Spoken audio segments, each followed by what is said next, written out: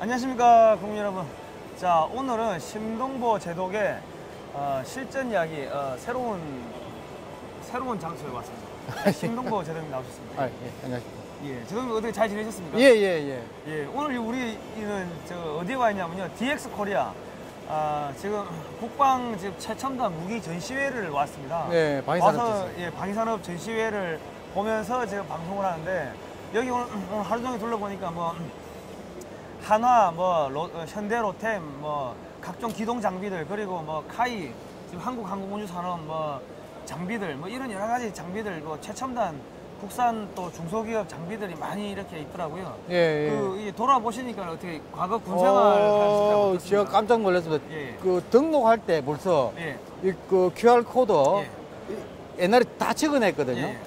이렇게 수기로. 예. QR 코드 찍어가지고 바로 이렇게 등록 하는 것부터가 벌써 이게 시스템이 예. 입구에서부터 틀려요. 예. 예. 그래 쭉 대충 보니까 뭐 지상 장비, 그다음에 공중 장비, 예. 어, 뭐그 기동 장비, 그다음에 C4I 체계 뭐 예. 등등 해가지고 거의 해상 그 무기 체계 빼고는 예. 거의 대부분 다 망라돼 있는 것 같습니다. 아. 근데 말대로 굉장히 첨단화된 것 같아요. 예. 해- 해상은 저기 부산에서 하는데 예, 부산에서 해요. 예, 배를 여기까지 가, 멕시코. 가 지고 올 수가 없으니까 예. 여기는 육상하고 주로 이제 육군에서 쓰는 예, 예. 항공기, 헬기기, 무인기 예, 뭐 예, 이런 것들하고 뭐 소총, 뭐 각종 그 비무기 체계, 예, 예. 예, 전투 지원 장비들 뭐 그런 부분들이 이제 쭉 있는데 예. 아 이거 오늘 그 우리가 뉴스를 보니까는 그 북한 철도에 뭐 최소 27조가 든다. 근데 일단 착수비로 6,400억을 뭐 쓴다 이런 기사가 나오더라고요. 아, 그게 그 어제죠. 예. 그 국무회에서 예. 그 14 판문점 선언, 427, 예. 427 판문점 선언에 대한 국회 비준 동의안을 예, 예. 의결을 해가지고 국회로 보냈단 말이에요. 예. 예. 예, 거기에 이제 그 예산이 나와야 될 거 아닙니까? 예, 예, 예. 그, 그걸 추진하려면 예, 은 예. 그런 예산이 명시하게 돼 있는데 제가 보기에는 그 내년도 정도 예산만 예, 이렇게 한 거예요. 그러니까 그 정도 그 비준 동의안을 요청할 정도면은 그한 최소 한 5년, 예. 뭐좀 길게는 한 10년 정도 분량의 예산을 아. 내는 게 맞아요. 예, 예. 그렇게 그러니까 예산 규모가 워낙 크니까 예. 예, 국민들이 좀 의아하게 생각할 수도 있고 음. 그 국제사회에 지금 대북 제재를 하고 있는데 예, 예. 그게 전혀 그 어울리지가 않아요. 예, 예. 그러니까 최소한 줄여가지고 예. 뭐 언론 보도에 뭐 미끼 예산이다. 예, 예. 어디 낚시 그 저 미끼 던져가지고 예, 예, 예. 그뭐 미끼 알잖아요. 낚시 예, 예. 미끼 예산이라는 이야기 나올 정도로 아. 살짝만 보, 보, 보- 이한 거예요. 그게 예, 어떻게 보면 이 약간 좀 기만성이 있는 예, 거예요. 그러니까 이거 하여튼 그렇게 했는데 이게 제가 이거 탁 드는 순간에 오늘 방산 전시회 와서 느낀 게 방위산이 굉장히 어렵잖아요 지금. 예, 예, 예? 이게, 이게 무한 출할 경쟁에다가 막그 영업 이익률도 예. 제가 알기로는 한 3% 정도밖에 안 되는 삼- 거라고. 뭐- 전체 방위 산업체의 예. 평균 영업 이익률이 예, 전에는 뭐 한 몇 년 전만 해도 뭐 한 최소한 뭐 6, 7% 예. 정도로 보장을 해줬단 말이에요. 근데 지금 뭐 그게 안 되는 거예요. 예. 그러니까 굉장히 열악한 거야. 그죠? 원래 방위사업법에 보면은 국 마진율을 9%로 이 보장을 그, 그, 그, 그. 정해져 있는데 예, 예. 지금 업체들 물어보니까 대기업이 한 3% 되고 중소기업은 1%가 아, 안 되는데 아, 그리고 특히 그, 저, 저, 조한 방위 산업 같은 경우에는 예, 예. 마이너스예요. 아, 마이너스. 예, 적자예요, 예. 적자. 예, 그리고 예. 그거는 뭐 어제 오늘 얘기가 아니고 예, 예. 조한 방위 산업 시작한 부터 현재까지 거의 한 30년 동안 예. 즉 흑자 난 지 거의 없어요. 아, 그렇게 열악한 방위 산업을 예. 옛날 그 전문화 계열화 제도로 해가지고 방위 산업을 정부에서 육성을 했어요. 그거를 제가 알기로는 한 80대 중반에 예, 예. 그걸 완전히 그 제도를 없앴어. 예, 예. 없애면서 소위 무한 출혈 경쟁 시스템으로 바꾼 거예요. 예, 예. 바꾸다 보니까 여금이 훨씬 내려가 버리고 그러니까 이 첩첩 삼중으로 저 주력 그 주기업이 어려우면 밑에 막 하청 쭉 있지 않습니까? 더 어려운 거예요. 그죠, 그죠. 예. 예? 그러면서 이게 에, 전체적으로 방위산업 구조가 예. 굉장히 열악하고 경쟁력을 왜냐면 자기가 생존을 못 하는데 방위산업 경쟁력을 더 높일 수가 없어요. 그리고 예. 그러니까 그걸 또 예. 수출로 연결해 가지고 예. 국부를 창출하기는 굉장히 무리가 있다 이 말이야. 그죠. 그러면 이거를 이런 막대한 예산을 예. 어? 수십조, 예를 들어 뭐 100조, 뭐 200조 막 이래 드는 예산을 예, 예. 북한에 도와주는 예산을 예, 예. 방위산업 좀 신경 쓰라 이거야. 제 아. 생각에 육성을 하고. 그 지금 보니까는 그 K2 자- 전차 같은 경우는 더 이상 추가 생산을 안 한다고 해가지고 그 생산 라인이 지금 그 단종되면은 그 생산 라인을 유지를 못 한다고 그러더라고요. 그게 잘못된 거예요. 예, 아니 그러니까 우리나라 전차 기술 유지를 위해서라도 조금 더 많이 사줘야 되고 그리고 그 사실은 뭐 지금 한국의 항공우주 산업이나 이런 데도 어, 수리온 헬기 같은 경우도 지금 추가적으로 이 물량이 없으면은 생산 라인 유지가 어렵다. 그리고 뭐 FA 50도 보니까 최종 납품이 이제 끝났더라고요. 그리고 다른 장비들도 보니까 거의 이제 물량들이 다 끝나가고 예. 지금 문제가 많더라고요 지금. 아, 그게 진짜 참 지적을 잘 예, 하시는데, 예, 예. 지금 그, 예를 들면, K1 전차 하나를 그, 연구 개발해가지고 예, 예, 예. 양산을 할 때까지 예, 예. 엄청난 그 노력을 하고 예, 예. 국가 예산 그 들어가는 거 아니에요. 예, 예. 그리고 힘들게 그 생산을 하고 그 라인이 있지 않았습니까? 생산 시설이. 예, 예. 그다음 기술 인력. 예. 그런 막대한 이게 수십 년 쌓은 노하우를 예. 이제, 물량이 없다 이거야 예. 앞으로 그, 예. 그러면 개환 전차를 더 이상 군에 소요가 없다 해서 그거 줄이면 안 돼요 예. 왜냐면 그거는 그러면 그 힘들게 수십 년을 걸쳐서 개발한 음, 그게 에, 에, 고기술 기술직. 첨단 기술과 예, 예. 그다음 생산 시설 날아가는 거예요 예, 예. 저 그게 그, 그 바보 같은 짓이라 이게 예, 예. 정부는 그런 거 잘 봐야 돼요 예. 예. 를 들면은 일본의 잠수함을 그 일본 같은 게 잠수함을 예. 건조를 하지 않습니까? 예? 그러면 잠수함 수요는 뻔해요. 예. 일본도. 그러면 어느 정도 하면은 다 충족했다 이가. 그 예. 잠수함 더 필요 없다. 예. 일본 해상자위대 잠수함 필요 없다. 뭐 음. 그럼 잠수함 생산하는 시설을 예. 조금 전처럼 그 말씀처럼 우리 우리처럼 그 생산 라인을 다 폐쇄할 거냐? 예. 그럼 기술 인력도 없앨 거냐? 음. 이거 바보 같은 짓이라. 그래 일본은 어떻게 하느냐 하면은 음. 어, 가와사키 조선소하고요. 예. 미쓰비시 조선소 두, 두 곳에서 음. 잠수함을 생산을 해요. 예, 예. 건조를 하는데 예. 잠수함 수명이 한 최소한 30년을 쓰잖아요. 예, 한 17년 되면 도태시켜요. 예. 예. 그러면 그걸 치장을 한다고. 그럼 예. 유사시에 그거를 아. 운용을 안 하다가 예. 진짜 유사시에 예. 뭐 예를 들면 전쟁이 났다. 예, 예. 잠수함이 필요하다면 그거 살리, 살리, 살리 쓰는 아, 거예요. 예, 예. 근데 운용을 안 하고 딱 치장을 해놨고 운용을 그 사람이 안 들어가잖아요. 예. 예산도 필요 없고. 대신에 잠수함은 계속 건조를 해요. 예. 미쓰비시 조선소에서 한 척 하면은 예. 다음에는 가와사키 조선소하고 이런 식으로 교호로 음. 교호로 해서 계속 그 생산 시설과 기술 인력을 예. 유지를 한다 이거야. 그럼 결국 결과적으로 국가가 투자를 한다는 거네요. 당연하죠. 예. 국가가 거기 방위 산업은 국가 보유를 위해서 하- 하는 산업이지 않습니까? 예, 예, 예, 일반 산업과 틀린다 이거야. 예, 예. 그럼 국가 정책적으로 받쳐줘야 돼요. 안정적으로. 예, 예? 예. 아. 그런데 일본은 그렇게 하는데 잠수함 하나도 예, 예. 우리는 무한 출을 경쟁해서 필요 없으면 그냥 샷다운이라 예. 대표적인 게 원전이야 원전 예, 예. 원전 탈 원전 하면서 예, 예. 원전을 안- 저, 그 있는 것도 폐쇄하고 그랬지 않습니까 예, 예. 그러니까 원전의 그 기, 기- 고기술 인력 예. 그다음에 원전을 생산하는 그 생산 라인 이게 죽는 거예요 아. 신문에 여- 언론에 매번 보도가 됐지 그럼 그 기술진들이 전부 다 중국으로 넘어갈 거 아닙니까? 그가 또 어떻게 됐든 간에 그게 예, 이제 예. 그- 그래 갈 가능성도 있죠 하지만 이거는 국가 어, 이 기관 산업은요 예. 또그 국가 저 안보와 관계되는 이런 예, 거는요 예. 굉장히 정책 국가 정- 정책적으로 아. 신중하게 그 관리를 해야 됩니다. 그러면 뭐 국내에 뭐 탱커 공장이 문을 닫는다, 뭐 전투기 라인이 줄어든다. 그러면은 거기에 이 첨단 인력들이 일자리가 없으니까 중국에서 빼가면 한국의 기술이 고스란히 중국으로 넘어갈 수 있는 거 아니에요? 그럴 수도 있죠. 그리고 예를 들면은 원전 이야기가 나왔지만 원전이 이렇게 탈원전을 하면서 예. 아까 막 그 막 기술 인력도 예. 아니 원전 원전 학과를 지원하는 학생이 없다고 그러지 않습니까? 아, 예. 예. 그래 되면 뭐가 문제시냐면은 정부에서 문재인 정부에서 작년에 특히 북한에서 SLBM 잠수함 발사 예. 어? 그 탄도탄 예.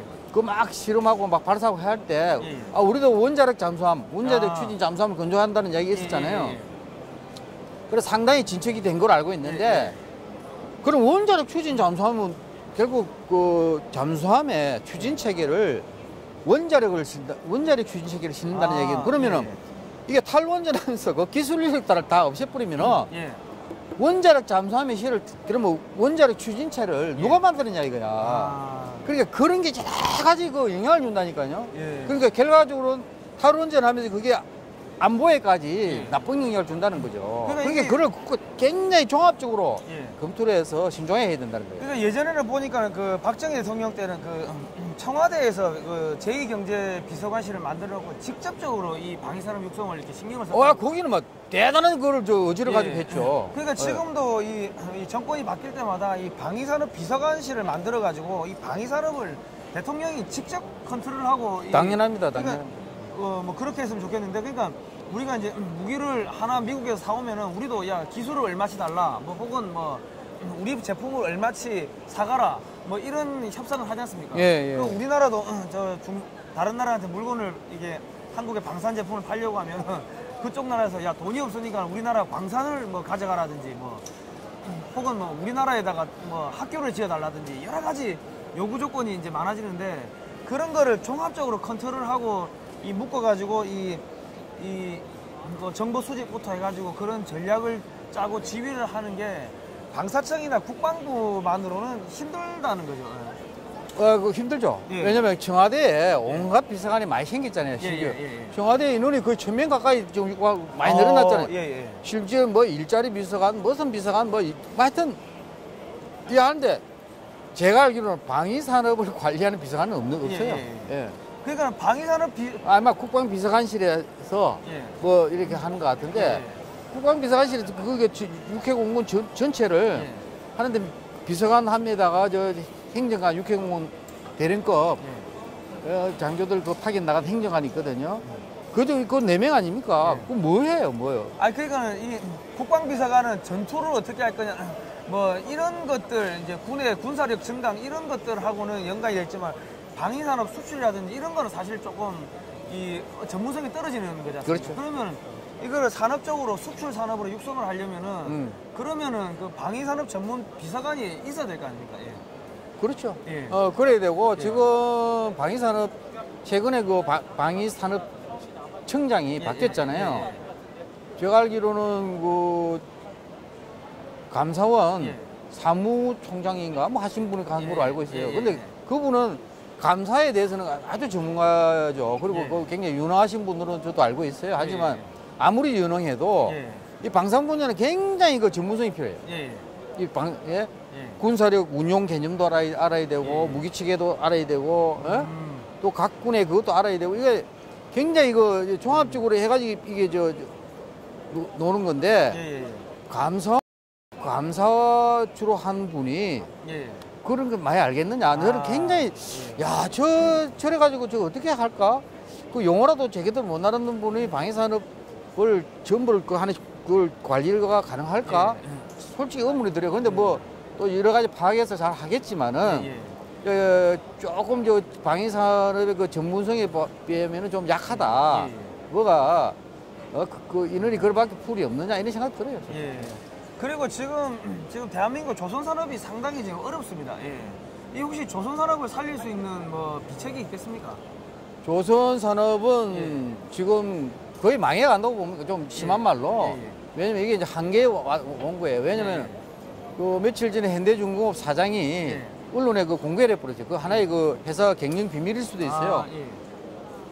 어, 그 현대중공업 임직원들 예. 평균 뭐, 뭐 월급이 얼마다. 예. 그다음에 그 중국하고 비교하고 음. 일본하고도 비교된 게 나오는데 우리나라 턱없이 높아요. 아. 그러니까 워낙 인건비가 비싸기 때문에 예. 임금비가 싸면서 그 원가가 싸잖아요. 그러니까 예, 예. 임금비가 절대적으로 원가에 차지하는 비중이 크지 않습니까? 그러니까 성과가 예. 높을 수밖에 없어요. 예, 예. 그러면 똑같은 배를 만드는데 중국은 예를 먼저 어, 그 천억에 만드는데 음. 현대중공업은 뭐 인건비하고 다 계산 최소한 직접 재료비하고 원가 예, 예. 이건 하나도 안 붙여도 뭐 2천억이 돼야 이거 배를 만들 수 있다 그러면 뭐 예. 같이 입찰 붙이면 경쟁이 안 되는 거야. 아. 그러니까 이게 에, 수주가 안 되는 겁니다. 그러니까 예. 중국한테 다 뺏기는 거야. 예. 그렇잖아요. 당연히 원가 그렇기 때문에 이거를 어 그거는 뭐저 민간 분야에 예. 그 어, 저 임금까지 제가 이야기하기는 좀 예, 예, 예. 어, 주제는 없는 얘기일 수 있고요. 예, 예. 이거 뭔가 모색을 해야 돼요. 아. 그러면 이제 제가 뭐 알기로는 어, 특수선 분야. 그러니까 군함, 예, 방위산업 예. 이쪽에 많이 그좀그 경영 비중이 예, 예. 많이 높아진다는 이야기도 듣고 있어요, 제가. 아 근데 지금 이 보니까는 이게 뭐 이 조함 그 군함을 건조하는 이런 산업들은 거의 마이너스인데 이걸 좀 대대적으로 이좀이 경쟁력 있게 살려면 우리나라도 이제 현재 항공모함 건조할 때가 되지 않았습니까? 제가 볼 때는 항공모함 뭐 예를 들어 한 음, 4만 톤급 정도 하면은 뭐 얼추 한 뭐 호위함까지 하면 한 20조 원 가까이 되니까 그리고 또 항, 음, 항모 해군 같은 경우는 함정 한 척을 작전 나가면 한 척은 훈련을 하고 한 척은 수리를 하고 하니까 세개 그렇죠. 예. 세 척의 함정이 하나의 팀으로 예, 움직이니까 예, 예, 예. 항모 전단 하나를 저기 운영을 하려고 하면 기본 세 개는 만들어야 된다는 거 아닙니까? 그렇죠, 그렇죠. 하나 만드는데 얼추 한 20조 들면은 한 5, 60조 원 가까이 되는 돈을 조선산업에 쏟아 부어 버리면은 그게 뭐 아주 뭐 일시적으로나마 이, 이 조선산업이 죽어가는 거를 이게 살릴 수 있지 않겠습니까? 예, 예. 예. 근데 하여튼 지금 정식으로 항공모함이라 할 수 있는 군함은 없어요. 예, 예. 현재 한국에. 예. 뭐 독도함이라든가 그런 게 이제 상륙 수송함, 예, 예. 대형 상륙 수송함으로 분류돼 있을 거예요. 예, 그런 저 전투함이 아니에요. 그죠? 예. 그런 저 개념을 하는데 한국 해군에 항공모함은 없는데 이게 오래 전에 예. 어, 1995년에 예, 예. 제가 저 국방부 있을 때 예. 국방부 21세기 및 통일 대비 예. 국방태세 발전위원회라는 게 있었어요. 예. 장관 직속으로. 그게 이제 약, 약칭 21세기 위원회라는 게 있었는데 거기에서 연구를 해가지고 음. 어, 장관 보고하고 그 일부는 저 국방부 기본 정책서라든가. 그 관련 기획서에 이제 반영도 되기로 했는데 음. 거기에 연구 95년이면 지금부터 몇 년 전입니까? 23년 전이지 않습니까? 그죠? 예, 예, 예. 이미 거기에 아, 한국 해군의 항공모함 그게 들어있어요, 기획서에. 아, 예, 예, 그러니까 그걸 쫙 분석한 거예요. 예. 예, 예. 왜 항공모 한 척이 뭐 의미가 딱, 그죠, 그러니까 그죠, 예. 한척 수리해야 되고, 한 예, 척, 어? 또 훈련하면서 대기해야 되고, 한 척은 실제 작전 나와야 돼. 그러면 세척 필요하단 말이야. 예. 세, 한 척이 필요하면 세척이 나와야 돼. 그죠, 그죠. 그 세척이 들어있어요. 아, 그럼 한 척이 넣으려면은 그걸 또 호위하는 함정들. 예, 그 소위- 이지삼도 있어야 예, 되고, 스크린십이라는데 그게 뭐 이지삼도 들어가고, 잠수함도 KDX2도 있고, 들어가고, 뭐. 중잠수함. 예, 예. 그 요즘 3,000톤급 잠수함 그죠, 저 예, 예. 지난번에 진수식 영재 뭐 하다가 좀 한다는데 예. 그게 곧 진수하지 않습니까? 예, 예. 하여튼 그런 잠수함. 아, 이런 게 종합도 들어가는 거예요. 예, 예. 그러면 이게 이제 어마어마한 규모가 되는 거예요. 예, 예, 아, 거기에 있어야 그 정도 돼야 예. 저쪽에 이제 필요하면은 남중국해. 뭐 남중국해에서 미군, 미 해군, 일본 예. 해군하고도 연합 작전이 되고 그죠. 미국의 인도 태평양 전략에 예. 우리가 실질적으로 기여를 할 수 있는 거예요. 아, 예. 그러면 상당히 그 한국이 잠수함, 아니 그 저 항모 전단만 갖고 있더라도 미국하고 이 미국이 한국한테 야 좀 뭐 좀 도와달라 이런 이야기를 어. 많이 하겠네요. 예. 그럼 많이 하- 많이 한국을 할수 있죠. 도와주면서 예. 뭐, 뭐, 우리도 반대급부를 받아야 될 거 아닙니까? 그러면 뭐, 예를 들어서 뭐, 뭐, 한국의 제품을 뭐, 야, 중국산 빼고 한국산 제품을 좀 더, 한 천억 달러치 더 사주라. 뭐, 이런 이야기도 할 수가 있고. 아, 그러니까 우리 예. 그게 입지가 높아지는 거죠. 아, 높아지면서 어, 대미 관계도 예. 우리 우리 국익에 예. 더 부합되게 예. 어, 미국을 우리가 예. 어, 할수 있는 거죠. 아, 예. 그러면은 그렇게 최첨단 항공모함을 만들면은 한국의 조선산업의 기술력이 높아집니까? 어떻게 됩니까? 당연히 높아지는데 예, 예, 항공만 건조에는 우리 기- 지금 현재 기술력으로도요 예, 예. 충분해요, 충분해. 아. 예, 예. 아 제가 저 저 그 그, 저 현대중공업에 현대중공업에 예, 예. 그 근무를 제가 저 했기 때문에 예. 충분해요, 충분해. 그러니까 지금은 뭐 사실은 항공모함 만드는 것도 엄청난 기술이지만은 음. 우리 실력에 봤을 때는 그냥 뭐 슈퍼 가서 물건 사듯이 돈 주고 야 항공모함 찍어내 하면은 항공모함 나올 수 있는 그 정도 하- 기술력이 갖추고 있다는 거 아닙니까? 그렇죠. 아, 그러니까 그만큼 예. 기술이 높아진 거예요. 예. 근데 대단한 기술을 가지고 있는데 예. 이 원가가 이제 계속 주변국 그 경쟁국에 예, 예, 비해서 예, 예. 워낙 높으니까 아, 그게 경쟁력이 떨어지는 거예요. 아. 그러니까 이 조선산업 수주를 못하니까 예. 아, 물량이 물- 없으니까 근접 물량이 없으니까 당연히 예. 독거가 예를 들어 빈다든가 이런 예. 문제. 예, 제가 있을 때에도 그 현대중공업의 엄청난 그거거든요. 예. 전체 부지가 제가 한 어, 조선소 부시가 한 300만 평 돼요. 어, 그렇습니까? 그 세계 최대 조- 독구부터 해가지고 예. 독구의 안에 막 꽉꽉 찼어요 배가 예. 금주하는 배가 예. 30만 톤급 예. 유조선부터 예. 뭐 23, 뭐 등등 꽉 차있던 독구가 지금 많이 피어 있다는 거 아니에요. 음. 아, 안타깝네요. 안타까- 그러면 안타까워요. 예, 예를 들어서 그 이지스함에 들어가는 레이더라든지 뭐 GPS라든지 뭐 여러 가지 그런 뭐 항해 장비들을 우리 업체들이 이렇게 납품을 해가지고 우리 항모 전단에 탑재가 된다면은 음. 그런 기술력이나 실적을 가지고서 어, 소위 말해서 상선용 조선 기자재 산업에도 치고 나갈 수가 있지 아, 않습니까? 그럼요, 그럼요. 그러면 보니까 일본 같은 경우 전 뭐 JRC 그러니까 전 세계 레이더 어, 이 산업에서 이 JRC라는 일본 저펜 레이더 컴퍼니인가요? 이 회사가 거의 한 90% 이상을 차지하고 있던데 예. 뭐저 항해 장비 무슨 GPS 통신 장비 예, 등등해서 예, 예. 그러면 우리가 한국에 항공모함 만들고 그런 것들을 어, 항모전단에다 실- 납품한 실적이 생기면은 음. 우리 중소기업들이 그런 그 삼- 민간 상선용 레이더 시장이라든지 뭐 그렇죠. 통신 장비 시장이라든지 이게 치고 나가면은 없던 새로운 시장이 생기는 거 아닙니까? 그럼요. 그럼 그리- 이거는 정부가 투자를 해줘야 되는 거거든요. 그럼요. 그러니까 뭐냐면 지금 예, 예. 그 현대중공업이나 대우조선해양이나 예, 예. 또 한진중공업 이런 그 조, 조, 조선 업체는 예, 예. 군함을 만들잖아요. 예. 그럼 거기에 들어가는 여러 가지 장비가 수백 가지가 있지 않습니까? 예, 예. 뭐 레이더부터 뭐 예, 말 예. 어? 예. 무, 무기 뭐 미사일도 들어가야 되고 예. 함포도 들어가야 되고 그죠. 통신 장비 예.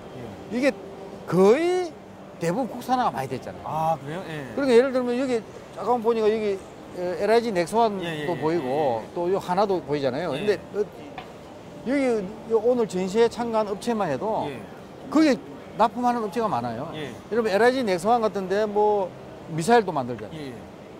어, 함대함 미사일, 그죠, 예. 예? 유도탄, 그다음에 레이더, 예. 그다음에 심지어는 전투 체계. 예. 그게 전투 체계가 뭐냐면은 그 표적 정보하고 예. 그다음에 그 무기 체계하고 예. 연동하는 거예요. 예. 연동해서 아. 완전 자동화로 저 이게 다 하. 어, 컨트롤 하거든요. 그 전투 체계. 예. 그렇게 그렇게 전투 체계 최첨단 제일 비싼 게 우리가 시- 이렇게 이지스함 얘기 들었죠. 예. 그 이지스함이라는 거는 정확한 표현으로는 이지스 전투 체계를 탑재한 군함을 아, 이지스함이라 그러거든요. 예, 예, 예. 그러니까 그게 핵심의 이지스 전투 체계예요. 어. 그리고 완전히 그건 이제 대공, 대함, 그 수중 방어까지 예, 예, 예. 또 공격까지 다 하는 거예요. 그러면은 그- 그러한 시스템이 이제 그 예. 정도 수준은 안 되지만은 예, 예. 우리도 상당한 수- 그 수준의 예. 전투 체계를 국내에서 아. 생산해서 예. 군함에 좀 탑재하고 있다니까요. 지금 보니까 음, KDX3 그 세종대왕급 외에 나머지 뭐 KD KD2 뭐요 충무공 이순신급 그 밑에 함정들의 전투 체계는 거의 다 국산화 시켰더라고요 보니까. 예. 예? 예. 우리 고속정 뭐또 예, 예, 전투 예, 체계. 예, 예. 그 우리 이제 북한하고 저 고속정 비교가 안 되거든. 그죠, 예. 북한은 전투 체계라는 개념이 없어요. 아. 완전 수동식이야. 근데 우리 전투 체계가 완전 자동화돼 있단 말이야. 예, 그럼 함정을 건조하면 또 전자산업이라든지 소프트웨어 산업 이런 것도 다 동시다발적으로 아, 발- 그럼요. 어, 발전하겠네요. 예. 그 부수적인 그, 그 효과가 크죠. 그러면 한국에 항공모함 전단을 만들고 하면은 한국에서 만든 헬기도 탑재를 하고 한국에서 만든 뭐 함재기 예를 들어서 KF-X를 그 차세대 전투기 그 뭐 스텔스 전 4.5세대급 전투기를 저기 또 함재기로 개발해 가지고 또 탑재도 하고 하면은 한국의 항공 산업도 이게 발전이 되는 겁니까? 아, 그럼요. 예. 이 지금 저 배경에 캐- 카이가 있잖아요. 예, 카이. 예, 예, 예. 카이 보면은 지금 어, T50 저 그 훈련기부터 예, 예. 예? 저 T50 훈련기는 상당히 그저 그 고등 훈련기죠. 고등 훈련기죠. 예, 고등. 미국 지금 미국 수- 훈련 수- 그 시장까지 수출하려고, 하는데 예, 그게 예. 굉장히 중요합니다. 예. 그래서 굉장히 그 갈목할 그 발전을 우리 항공 산업을 이렇게 이끌- 이끌었는데 사실은 저기에 헬기도 또 국산 헬기 예. 뭐 지난번 마리노 뭐 사고도 예, 있었지만은 예, 그 여러 가지 이제 그 시행착오 있는 거죠. 예. 하지만 크게 보면은 예. 엄청 발전한 거예요. 아. 근데 저기 이제 욕심을 내자면은 예. 어, 지난번 언론 보도에 의하면은 해군에 해군의 어, 항공모함에 탑재할 예. 어, 수직이 착륙 전투기 예. F-35 B형을 예. 어, 구매하는 예. 걸 검토하고 한다. 뭐 이런 음. 이야기 나와서 그 저는 굉장히 반갑게 그 뉴스를 봤는데 예. 이제 그렇게 그 굉장히 그 고가지 않습니까? 예, 예, 예. 근데 그런 것만 필요한 게 아니고 예, 예. 훈련용 함재기가 필요해요. 예, 예, 를 예. 들면은 예, 예. 그 무조건 그 비싼 항- 비행기 숙달도 안 돼가 그저저 아. 좁은 비행 갑판에 내리고 어, 이륙하고 착함할 수 있잖아요. 예, 예. 그러면 훈련용 아. 함재기도 필요하다고 예, 전투기 예. T50 평에 예. 예를 들면 그러면 T50 평 함재용 T50을 또 개발해야 돼요. 아, 함재형 T50 어, 그래가지고 훈련기로. 또 어. 그걸 계속 하- 운영하는 거예요. 아. 필요하면 뭐 해군 조종사 가면 더 좋고 예, 예. 아니면 공군 조종사를 파견받아서 하더라도 예, 예. 하여튼 하여튼 해군 그 항공모함에 전투기를 싣고 다니래요, 전투기. 아, 그렇군요. 예, 전투기를. 그러면 예를 들어 예를 들어 우리가 함정을 한 척 수축을 하면은 뒤에 그 탑재되는 헬기도 국산 함정용 국산 대잠 헬기를 탑재를 하고 그리고 그 탑재되는 그런 도 국산 미사일 탑재하고 예, 국산 소나 국산 어뢰 예, 예. 뭐 전부 다 국산 전투 체계가 탑재가 되면 국산 함포. 예 함포 그러면 함정 한척 수출하면 아예 패키지로 수출하는 게 되네요. 엄청난 거죠. 아, 예. 예. 예. 그러니까 그런 그 산업에 미치는 예. 그 효과가 예, 예. 어, 굉장히 큽니다. 이거 방위산업. 예, 예, 예, 예. 아 그렇군요. 예. 그게 그러면- 소위 예. 방위산업이 잘하면 예. 좀 쉽게 말씀드리면 황금알을 낳는 거기가 될 수 있다니까. 아 그래서 저희가 이번에 예? 그 그리고 책을- 국제 협력에 국제 협력에 방위산업까지 많이 할수 있잖아요. 예. 예. 그러니까 지금 우리 저기 오래된 장비들은 우리 그 우방국들한테 주고 어, 그럼요. 그 그냥 뭐 싸게 주든지 고철 값에 주든지 줘, 줘버리고 우리는 부족한 거는 또 사드리면 되겠네요. 예, 예. 그런 식으로 계속 밀어내기 오래된 거는 뭐한 한 15년, 20년 넘어가는 거는 뭐 저렴하게 주고 우리는 새 거 사고 그리고 우리 업체들은 부품만 수출하면 되는 거 아닙니까? 그, 그, 그쪽 나라에다가. 예. 그리고 우리 예비역들 중에서 우수한 인력들은 거기 보내가지고 기술, 뭐 수리하는 기술도 알려주고 예. 그리고 또 뭐 전략 전술도 알려주고 예, 뭐 여러 가지 군사, 민간 군사 그런 지원을 해주면은 예. 예비역들의 일자리도 창출이 되고 네. 그런 거 아니겠습니까? 예, 그렇죠. 그렇죠. 예. 그러니까 아까 제가 말씀을 드렸는지 안 드렸는지 모르겠지만 우리나라 지금 방위 산업이 최저가 낙찰제로 가다 보니까 삼성의 엘- 그 에어컨을 사면은 삼성 AS 센터에 가야 되는데 최저가 낙찰제로 수리 업체를 정하다 보니까 엉뚱한 업체가 수리 업체가 낙찰돼 가지고 나중에 수리 하러 갔는데 못 하니까는 다시 들고 오는 이런 일들이 발생을 하더라고요. 그게 지금 저 말씀 잘 하셨는데 예. 방위산업을 관리를 하는데 예. 워낙 일면 저 이해가 되는 측면이 있어요. 예. 왜 방위산업 비리가 좀 있었잖아요. 예. 그러니까 국민들이 내는 세금을 가지고 예. 방위산업 육성하러 가- 돈을 줬더만은 예. 엉뚱한 놈들이 그걸 아. 예를 들면 그저 했다 예, 예. 챙겼다. 예, 예. 그러니까 전혀 이거는 안 맞는 거죠. 예. 그러니까 그게 막 워낙 근데 제가 보기 일부에 일부 예. 일부 그런 현상이 있었는데 근데 그거를 전부 해가지고 뭐 어, 빈대 잡으려고 그러다가 초과상한생을 아, 태우듯이 예, 예. 그런 식으로 전체 방위 산업을 그렇게 그 나쁘게 보아가지고 예, 예, 예. 규제 일변도로 하면 안 된다 예, 이게 예, 예. 그 대표적인 최저가 낙찰제예요 예, 이거는 방위산업체는 마른 수군이잖아요 예, 예. 아 저던 수군에 짜면 물이 나오지만 마른 수군 짜봐야 물이 나옵니까 그러니까 그러니까 방위산- 예. 마른 수군 짜듯이 규제를 받고 있다 아. 이렇게 여기 방, 하- 다 물어보십시오. 방위산업 예. 저 이거 하시는 분들 예. 종사자들한테 예. 어떤 냐 하면 마른 수은 짜듯이 우- 괴롭다. 어? 악성 규제에 시달리고 이렇게 이야기합니다. 아 그러다 보니까 연말에 방사법에 보 방위사업법에 보니까 연말에 방사청에다가 재무제표 회계 자료 재무제표하고 회계 자료는 기업의 기업 기업 기밀인데 그거 플러스 알파로 어 저기 또 음, 뭡니까 저 어, 원가 자료 응.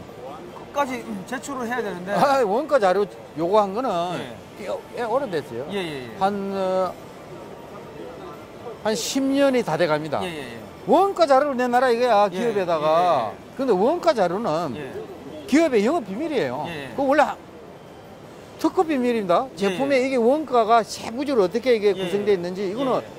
경쟁업체에 가면은 그 아. 분석이 되잖아요. 그죠, 예. 그걸 방위산업청이 내놔라 이거야. 예.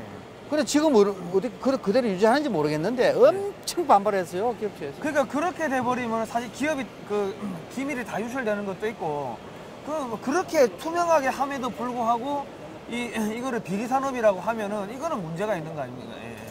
그러니까 국민 여러분, 대한민국의 어떤 산업도 원가 자료, 재무제표 회계 자료를 그 해당 관청에다가 제출하는 기업체는 없습니다. 없는데 지금 대한민국의 방산업들은 그렇게 하고 있는데 제가 볼 때는 이, 이 제도가 이게 지금 뭐 시험 성적서 같은 경우도 국내에서 발급을 할 수 있는 기간이 없으니까 해외 나가서 발급을 해야 되는데 이게 만 원짜리 하나 만드는데 발급 비용이 뭐, 뭐 10만 원이 된다든지 배보다 배꼽이 큰, 더 큰 것도 있고 그리고 또 그런 비용들을 갖다가 그 방사능 원가에다가 포함을 안 시켜주더라고. 그러니까는 업체 마진율 9%에서 이것 떼고 저, 저것 떼고 차포 떼다 보니까 마진율이 뭐 3% 미만으로 떨어지는 그리고 예. 지금 저 문재인 정부를 제가 또 나쁘게 이야기하는 게 아닙니다. 예, 예, 그런데 예. 역대 정부가 그래요. 아. 역대 정부가 진짜 나쁜 거예요. 그런데 내가 한 가지 깜짝 놀랄 예, 얘기를 예, 해드릴게요. 예. 군함이 예. 그, 예를 들면 건- 진수를 하잖아요. 진수. 지금 저 3천 톤급 잠수함이 곧 진수를 한다고 예, 그랬지 예, 않습니까? 그러면 저게 진수 후에 뭘 하느냐 하면은 그 예. 무기체계를 이제 탑재를 다 해요. 예. 그러니까 지금 배 껍데기만 만들어가지고 예, 예. 플랫폼만 배가 물에 뜨는 상태에서 하는 게 진수식인데 예. 진수 물에 띄운다는 얘기 아니에요. 예, 예, 그 뒤에 뭐 저 군함에 따라 틀린데 예. 아마 3천 톤급 잠수함을 진수한 후에 지금 정식으로 이제 해군에 인도할 때까지는 한 예, 예. 최소한 1, 일년 내지 2년이 걸릴 거예요. 야, 예, 예. 왜냐면 그동안 뭐 하느냐면 그게 무기체계를 탑재를 하고 아. 그걸 그러다가 그걸 또 의장 이런 걸 다 해가지고 예, 예. 실내 의장 예, 예. 그다음에 그거를 실제 다 나가서. 시험 평가를 해야 돼요. 아, 그렇군요. 예. 시험 평가를. 이게 제대로 성능이 나오는지. 시험 하면은 예를 들면 1년 2년을 갖다가 예. 해상에서 계속 시험 평가를 해야 된단 예, 말이에요. 예? 그냥 넘길 수가 없죠. 그죠. 그리고 시험 평가를 해야 원래 계약서대로 이 성능이 나오는지 예. 그러니까 그 발주는 정부에서 했지 않습니까? 정부 요구 수준이 맞는지 예. 확인해가지고 사인해가지고 인수 받는데 예, 예. 자 그러면 아, 군함이 예. 해상에서 이제 항해를 하면서 시험평 한다 이게요. 예. 사고 나면 어떻게 되죠? 예를 들어 군함이 예를 들면 충돌을 했다든가 예, 예. 뭐 상선하고 충돌을 했다든가 예, 예, 또는 뭐 암초에 뭐 걸, 걸렸다- 걸렸다든가. 예, 예. 해상 사고가 날 수 있잖아요. 그죠, 예. 그럼 그 사고 나면 어떻게 됩니까? 보험이 돼야 되잖아요. 예, 예. 보험. 예. 일반 상선 다 보험이 없는 선박이 없어요. 예, 예. 그거 아, 맞죠? 예, 그죠. 근데 해군은 예. 해군에 인도되기 전에 조- 조선소에서 예. 그 시험 평가 기간 중에 인도 지금까지 그 하는 아. 운- 운행할 때 예. 보험 가입이 안 돼요. 아, 또 그거를 조선업체에서 수없이 정부에 건의를 했다고. 예, 이- 이런 위험이 있기 때문에 보험을 가- 예. 넣어야 넣어. 그러면 아. 보험 가입이 안 되면 정부가 보, 보증을 서라. 예. 사고 났을 때. 예? 그것도 안 해. 아. 그러니까 한마디로 무- 무보험 운행을 하고 있어요. 아, 그것도 그- 예. 수십 년을 예. 그런 나라가 없어요. 아. 그게 왜 그래요, 정부가? 이 무사한 아주 아주 대표적인 그 악성 그 규제라니까요. 아, 그렇군요. 할 일을 안 하는 거야. 왜? 예, 예. 조선소에 자기 돈으로 보험을 들겠다는데도 안 되네, 이게. 아. 뭐그 이유 중에는 뭐 군사 보안도 들어가 있어요. 아, 예. 일단은 그건 그렇고 지금 가장 그 심각한 게 우리 기업들이 아주 열심히 기, 기술 개발을 하다가 실패하는 경우가 있는데 네. 왜냐면 첨단 기술로 가면은 1cm의 변화를 주는 것도 엄청나게 많은 시간과 이 기술이 들어가고 예산이 들어가고 그 소위 말 기술의 축적 이런 것들이 필요한데 그러면 이제 짧은 시간에 무기 만들 최첨단 세계 최고로 수준이 높은 무기를 만들어내라고 압력은 넣으면서 예산은 정말 적게 주고 그 저기 뭡니까 저 기간도 개발 기간도 짧게 주고 하다 보니까 열심히 해가지고 무기 체계를 개발을 했는 하려고 했음에도 불구하고 이 성능이 안 나온다든지 개발에 실패하는 경우가 있을 수가 있지 않습니까? 있죠, 있죠. 왜냐면 이제는 우리가 세계 최고 뭐 수준에 올라왔는데 거기서 더 올라가려고 하면 거의 미국 같은 수준의 무기를 만들어내야 되는데 그러다 보면 사실은 뭐 개발비가 적다든지 뭐 연구 개발 기간이 짧다든지 그런 부분 때문에 실패할 수가 있는데 그러면 그거를 갖다가 그 소위 말해서 그 제재 대상 그 부정당 제재 혹은 제재 대상 페널티를 때려버리더라고. 너왜 이거 방산 비리야? 돈 떼먹은 거 아니야? 떼먹은 거 아니, 떼먹었으니까 안 되는 거 아니야? 이런 식으로 이야기를 해가지고 업체들을 다 이게 징계를 때려버리는데 그렇게 해버리면은 이 누가 이 저기 이 방위 산업을 하겠냐? 그때 뭐그 사례가 예. 그게 뭐 지체 상금 이래 가지고 예, 예, 뭐 예. 그게 그, 그 규모가 수백억이에요, 수백억. 예. 그러니까 업체들이 업체들이 지금 뭐 방위 산업 했다가 어, 신기술 개발한다고 했다가 실패해가지고 야씨문 닫을 판이다 이런 업체들이 수없이 많더라고요. 예. 그러니까 그러니까 우리는 너무 그- 그런 데 대한 그게 예. 예, 방위 산업에 대해서 너무 저 지나칠 정도로 철저한 게 아니고 과도해요. 과도. 예. 예.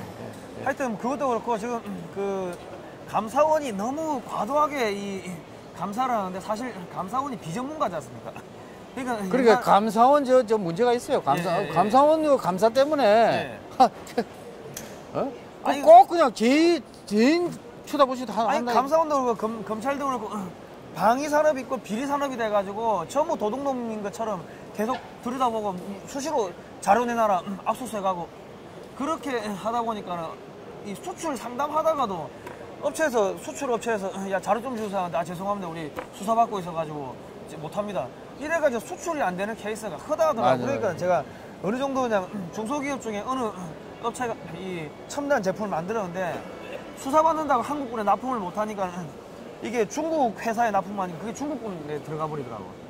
그리고 뭐 한국군 만, 한테 납품하려고 만든 장비가 한국 정부가 안- 뭐 수- 수사한다고 방산비리 때려잡는다고 해가 수사한다고 한국군에 납품이 안 되니까 올 스톱 돼 버린 거지 행정이. 그러니까는 당연히 중국, 군으로 외국에서 그런 예. 회사를 누가 저 그런 회사에다 발주를 하려고 그러겠어요. 예? 왜 하- 자기 정부에서 지금 조사를 받고 있는 업체에다가 그죠, 예. 아무리 그래도 어 잘못하면 이게 나중에 개런티도 안 되겠다. 그지? 근데 조금 하면 조금 떨어지더라도 예. 다른 데 돌리는 거죠. 그러니까 미국이나 유럽 같은 경우는 보니까 그이 자국에서 이, 이 제재를 뭐 비리 업체로 제재를 당한 업체는 아예 입찰을 못하게끔 틀어막아 버리더라고요. 그럼- 그, 렇게 법으로 막아버리는데 음. 한국에서는 어, 방사청에서 무조건 자기들이 이제 면피를 하기 위해 가지고 뭡니까 저기 업체들을 갖다가 조금만 이상이 있어도 다 그냥 부정당 제재, 뭐 페널티 때려버리고 음, 야 억울하면 소송해라. 이러다니까 업체들은 또 소송비 내야 되고 그 사실 이런 거는 문제가 있으면은 자꾸 덮어주고 야 뭐가 문제인데 사- 뒤로 가가 살짝 물어보고 야 기술이 부족해 그러면 우리가 기술력 더 이렇게 해줄게 뭐 군에서 좀 도와주고 해가지고 미국은 보니까는 군에서 아예 대놓고 업체에 상주하면서 막 기술 기술력도 개발할 수 있게끔 도와주고 뭐뭐 실험도 할 수 있게끔 도와주고 예, 막 예. 이 민, 민간군이 합동이 돼가지고 이 첨단 기술을 육성을 하더라고요. 예, 맞아요, 예. 맞아요, 맞아요. 예. 그리고 지금 또 아주 심각한 문제들 중에 하나가 이제 뭐가 있냐면은 이, 이 첨단 기술을 흡수를 하는 게 그러니까 이 저 성능 개량 사업을 자주 안 하니까 음. 그 업그레이드가 안, 안 된다 아, 그러더라고요. 예, 예. 예. 자, 우리 오늘 야외에서 하다 보니까 뭐 우리 여기까지만 하고 뭐 또 다른 내용은 다음 시간에 아, 그럴까요? 지금, 지금 이제 마무리해야 됩니까? 아 그렇군요. 아 다른 또 예, 예, 예. 예, 오늘 저희가 이게 하루 종일 촬영하니까 이 배터리가 다 됐나 봅니다. 아, 그렇습니까? 예. 아무튼 간에 국민 여러분, 이제 방위산업은요, 비리산업이 아닙니다. 저 국가 신성장 동력이고, 기간 산업이 핵. 예, IT, 전기, 전자, 그, 뭡니까, 나노, 그 빅데이터, 항공우주 기술, 그리고 음. 저 드론, 뭐, 저, 인공지능, 차세대 융복합 산업입니다. 저, 예, 예. 육성해 주시고요. 저, 우리가 그래서 삼성이 방위 산업을 포기한 이유 라는 책을 만들었습니다. 글로벌 디펜스 뉴스 02-711-9642번에서 신청해 주시기 바랍니다. 자, 다음 시간에 뵙도록 하겠습니다. 예. 예, 고생하셨습니다. 예, 수고하셨습니다. 예.